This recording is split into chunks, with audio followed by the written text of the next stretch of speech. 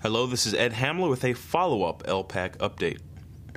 Upon further review of the incident involving Representative Giffords from Arizona on Saturday, it's become very clear now that some of the dust has settled that someone is trying to use the situation to create a climate of dictatorship for anyone who's opposed to the Obama Nazi health policy and other policies of this type.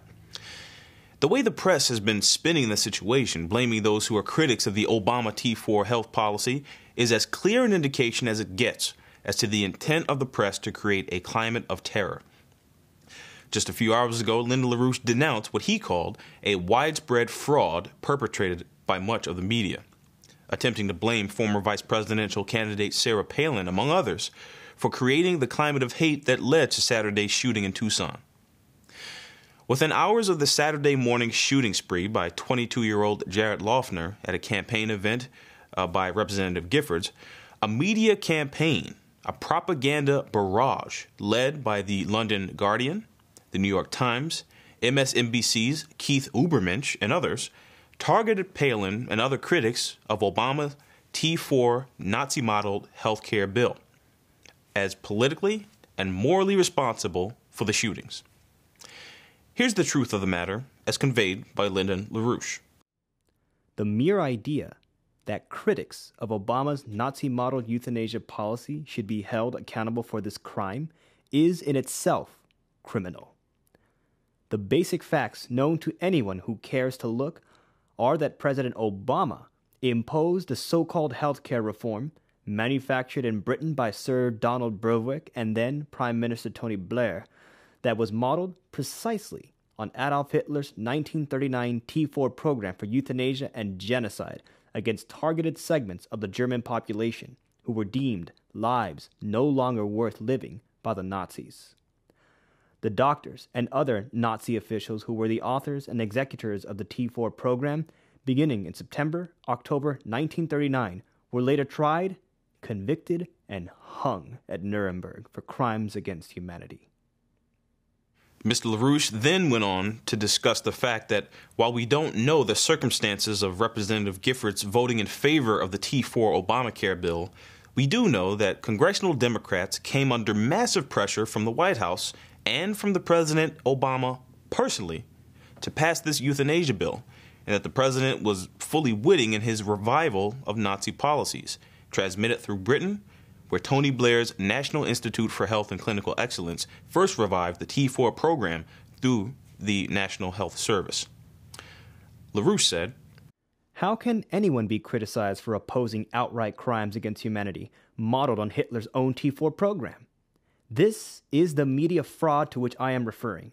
The New York Times, the Fabian Society's London Guardian, and others propose that it is a crime to attack those perpetrating a revival of the very Nuremberg crimes that led the Nazi doctors to the gallows after World War II. This is the mentality inside the United States government today, including inside the US Congress. They show a zeal to commit the crimes of Hitler because it is so important to save money for the continued bailout of London and Wall Street that people must die needlessly. There are some elements of the corrupt United States and British media trying to make it appear that those who condemn Hitler's genocide are somehow guilty of annoying them. Donald Berwick, President Obama's current chief healthcare policy advisor, as chairman of the Center for Medicare and Medicaid Services, was an architect of the Blair revival of Hitlerian euthanasia in Britain, and he is now working with President Obama to impose the identical policies here in the United States, targeting the elderly, the chronically ill, and other of the most vulnerable among us. Now, take a look at the shooter in the crime on Saturday. By the time 22 year old Jared Loughner purchased his handgun last November, he was already in a highly suggestible state and had been for some time a fuse waiting to be lit. Loughner's mental deterioration from the time of his senior year in high school into that of his community college days coincided with his deepening involvement in what's called lucid dreaming or conscious dreaming. This cult teaches self immersion in, in dream fantasy, supposedly self controlled, as the path to total fulfillment through the information supposedly communicated through the dreams. The more he immersed himself into a life of self induced and supposedly self controlled fantasy, the more he became openly psychotic as seen by his friends, and more pathologically suggestible at the same time. According to reports, he was rejected from the military, and we know that Loughner's behavior bo- bothered his classmates and professors at Pima Community College so much that the school asked him to leave, ordering him to undergo a psychological evaluation. His strange conduct, conduct also led to several run ins with Pima campus police and prompted one student to vent in an email to a friend that Loughner scared the living crap out of her. We have a mentally unstable person in the class that scares the living crap out of me. He is one of those whose picture you see on the news after he comes into class with an automatic weapon. Everyone interviewed would say, Yeah, he was in my math class and he was really weird. I sit by the door with my purse handy. If you see it on the news one night, know that I got out fast. The testimony of Loughner's friend, Bryce Tierney, along with other evidence, make clear Loughner's long obsession with Representative Giffords. He kept a letter she sent him in a safe from 2007, before Obama was in office, until 2011. He several times recounted a public exchange he had once uh, with her and periodically commented on her actions to his friends, as on his YouTube page suggests. It should be asked whether Loughner had a history of crushes on older women. The known facts certainly suggest it. All these and other facts in the public record indicate that Jared Loughner had been pre primed for an attack against Representative Giffords. All that was lacking was the suggestion.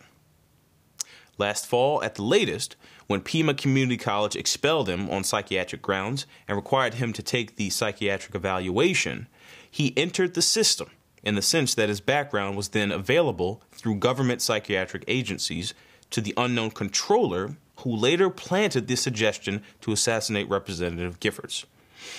Now, within hours of the shooting, the first coverage of major media, led by the Morgan-owned New York Times and the London Guardian, blamed Sarah Palin for the killing because of her opposition to the Hitler-like Obama health care reform. This had been coordinated in advance, like the others who have been implicated as lone assassins in recent political killings.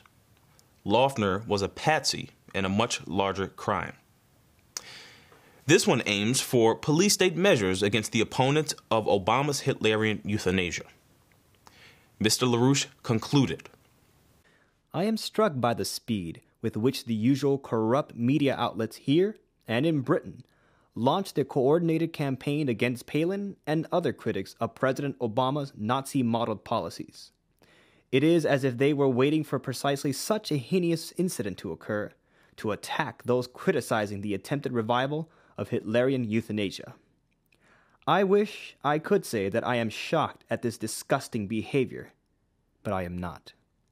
The J.P. Morgan backed New York Times and the Fabian Society linked Guardian have a long track record of support for such outright genocidal policies.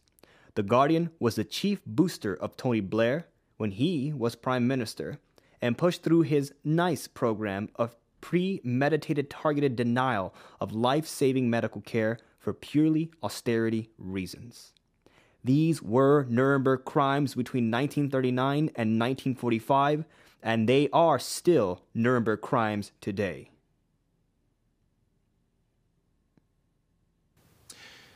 The events that happened this past Saturday were no product of a climate of hate created by the Tea Party or something like that. This was a known mental case that was used as a patsy to create a climate of dictatorship by the British.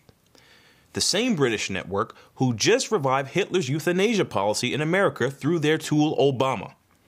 So, don't be stupid. This is still the issue.